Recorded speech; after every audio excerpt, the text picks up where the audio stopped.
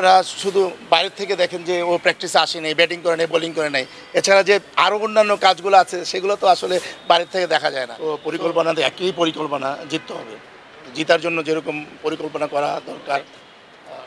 সাকিব আল হাসান মানে দুর্দান্ত ফর্মে আছেন মেবি সেরা ফর্মে আছেন। তো একজন এরকম অধিনায়ককে পাওয়া মানে কোচ হিসেবে বা দলের না, অবশ্যই, সাকিব এখন যেরকম অবস্থায় আছে, যেরকম মানে আমরা লাস্ট ম্যাচের আগের ম্যাচে আমি সাকিবকে বলছিলাম যে, তুমি যে ব্যাটিংটা করেছ, আমার দেখা, তোমার লাইফে আমার কাছে সেরা ইনিংস মনে হয়েছে।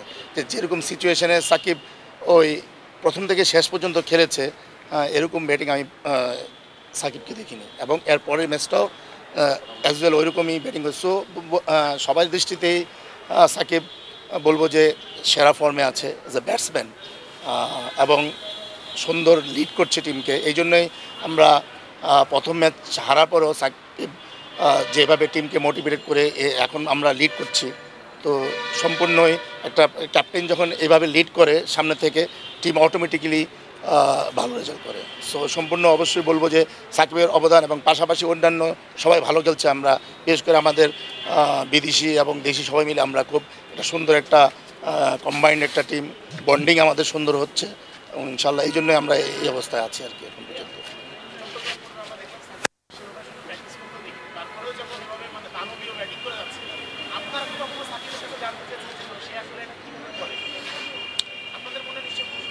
না, দেখেন যারা নাকি ইন্টারন্যাশনাল ক্রিকেট খেলে, বিশেষ করে ন্যাশনাল টিমের প্লেয়াররা এত বেশি তাদের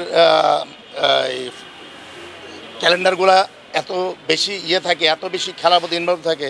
আমার মনে হয় যে প্র্যাকটিসের চেয়ে তারা যদি বিশেষ করে একটু রেস্ট নেয় বা তারা ফ্রেশ থাকার জন্য এই যে ইয়েগুলা খুব সাকিব যে বড় বড় দুইটা ইনিংস খেলেছে এবং এর পরের দিন প্র্যাকটিসে সে তো কোনো আসলে ওই রকম কাজ করে না যতটুকু তার রেস্ট নিলে সে যতটুকু। সে আপনারা শুধু বাইরের থেকে দেখেন যে ও প্র্যাকটিসে আসেনি ব্যাটিং করে নেই বোলিং করে নেই। এছাড়া যে আরও অন্যান্য কাজগুলো আছে সেগুলো তো আসলে বাইরের থেকে দেখা যায় না। সো আমার মনে হয় যে সে গেমের মধ্যেই আছে প্র্যাকটিসের মধ্যেই আছে। Much. থ্যাংকস